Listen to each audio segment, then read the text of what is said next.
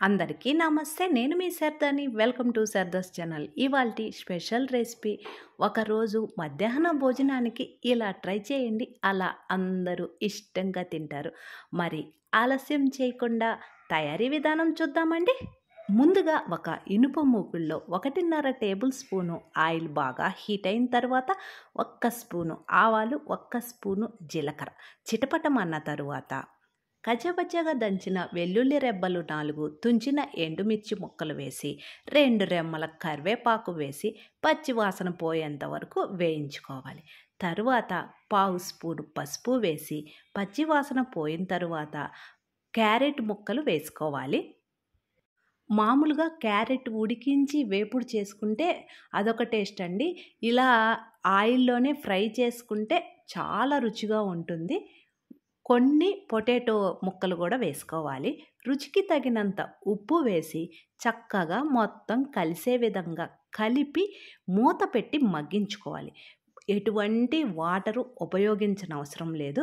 అయితే మధ్య మధ్యలో మూత తీసి కలుపుకుంటూ ఉండాలండి. అడుగున ఉండే మొక్కలు మాడిపోతాయి. పైనవి అలాగనే ఉంటాయి. అందువలన చక్కగా ఇలా కలిపి అలా మూత పెట్టి మళ్ళీ మగ్గించుకోవాలి.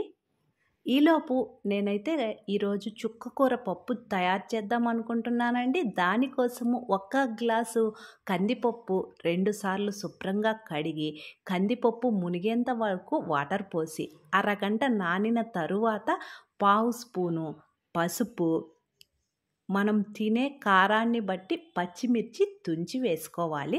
రెండు బాగా పండిన నాటు టమోటాలు క్లీన్ చేసి ముక్కలుగా కట్ చేసి ఇలా వేసుకోవాలి. తర్వాత ఒక కట్ట చుక్క కూర క్లీన్ చేసి కట్ చేసి వేసుకోవాలి.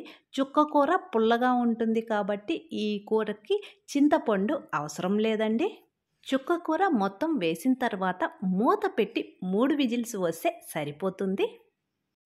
ఈలోపు మనకి చూడండి ఈ పొటాటో క్యారెట్ మొక్కలు చక్కగా మెత్తబడినవండి మనము మూత పెట్టడం వలన అందులోనే ఆవిరి వస్తుంది. ఆవిరితో ఈ మొక్కలు ఫ్రై అయితే చాలా రుచిగా ఉంటుంది వేపుడు అనేది. ఇప్పుడు కారానికి తగినంత నేనైతే అర స్పూను కారం వేస్తున్నాను. కారం వేసిన తర్వాత లో ఫ్లేమ్లోనే పచ్చి వాసన పోయేంత వరకు వేయించుకుంటే సరిపోతుందండి. అంతే ఎంతో సింపుల్గా క్యారెట్ పొటాటో ఫ్రై రెడీ. ఇది ఈ చుక్కకూర పప్పులోకి నంచుకునేదానికి సూపర్గా ఉంటుందండి. దీనిని బౌల్లోకి తీసేసుకుందాం. మనకి మూడు విజిల్స్ వచ్చి ఆవిరిపోయిన తర్వాత చూద్దామండి. పప్పు ఎంత మెత్తగా ఉడికిందో చూడండి. అంటే మనము కందిపప్పును ముందుగానే నానబెట్టుకోవాలి ఇప్పుడు రుచికి తగినంత రాళ్ళ ఉప్పు వేసి ముద్దకంతో మెత్తగా మెదుపుకోవాలి. ఎండాకాలంలో సాధ్యమైనంత వరకు మసాలా కూరలు తగ్గించి ఇలా పప్పు అవి చేసుకుంటే పొట్టలో హాయిగా ఉంటుందండి. చక్కగా మెదిగిన తరువాత దీనికి పోపును పెట్టుకుందాం. పోపు కోసం ఒక ఫ్రై ప్యాన్లో రెండు స్పూన్లు ఆయిల్ హీట్ అయిన తర్వాత పోపు దినుసులు పచ్చిశనగపప్పు మినపప్పు ఆవాలు జీలకర్ర చక్కగా వేగిన తర్వాత కచ్చాపచ్చగా దంచిన వెల్లుల్లి రెబ్బలు నాలుగు తుంచిన ఎండుమిర్చి ముక్కలు. కాస్త కరివేపాకు ఒక్క ఉల్లిపాయను ఇలా ముక్కలుగా కట్ చేసి వేసుకోవాలి. మీడియం ఫ్లేమ్లోనే చక్కగా ఉల్లిపాయ అనేది పచ్చివాసన పోయి ఇలా కలర్ చేంజ్ అయ్యేంత వరకు వేయించుకోవాలి. తరువాత మనం ముందు మెదిపి పెట్టుకున్నటువంటి చుక్కకూర పప్పు ఉంది కదండి ఆ పప్పు మొత్తం వేసి మీడియం ఫ్లేమ్లో కానీ హై ఫ్లేమ్లో కానీ ఉడికించుకుంటే సరిపోతుంది.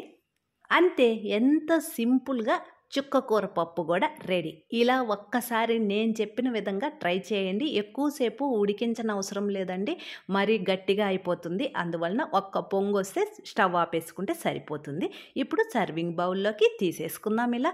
ఈ వీడియో మీకు ఏమాత్రం ఉపయోగపడుతుంది అనుకుంటేనే లైక్ చేసి షేర్ చేయండి. మన శారదాస్ ఛానల్ ఫస్ట్ టైం చూస్తుంటే మర్చిపోకుండా సబ్స్క్రైబ్ చేసుకొని పక్కన బెల్లైకాన్లో ఆల్ ఆప్షన్ని ప్రెస్ చేయండి. శారదాస్ ఛానల్లో రుచికరమైన వంటల రెసిపీసే కాదండి. Health tips beauty tips kitchen tips unboxing videos shorts అన్ని ప్లేలిస్ట్లో చూస్తూ ఉండండి. Thank you.